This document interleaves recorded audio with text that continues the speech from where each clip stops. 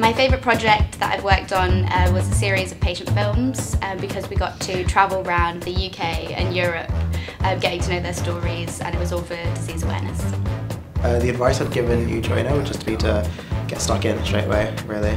Um, no matter what it is, just put your hand up for it. I mean, if you like it, like if you don't like it, don't do it. The most important life skill for a new graduate to learn is being able to walk into a room and have the confidence to talk to, talk to anyone.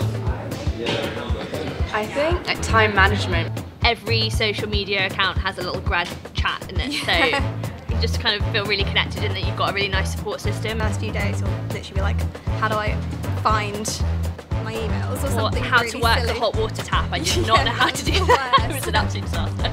But yeah, so your grad intake are really good because they've been through it six months before you. So Yeah. it's really useful. You have a good one. You, you have an exciting day. I've got a lot of unicorn stuff. I've got a card that's shaped like a unicorn. It's great.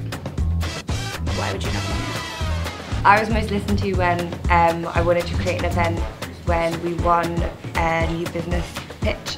Um, and through the Culture Club, we were able to create the event sort of from the ground up um, and had a little party in the office, which was really cool.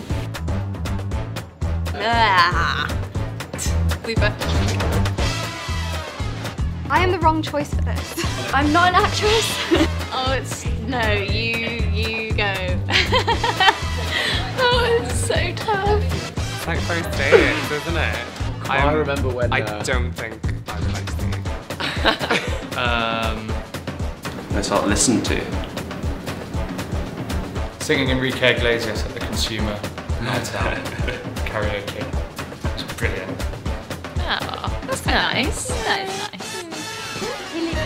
That is nice. Do we look really awkward on camera? No, you look good, guys.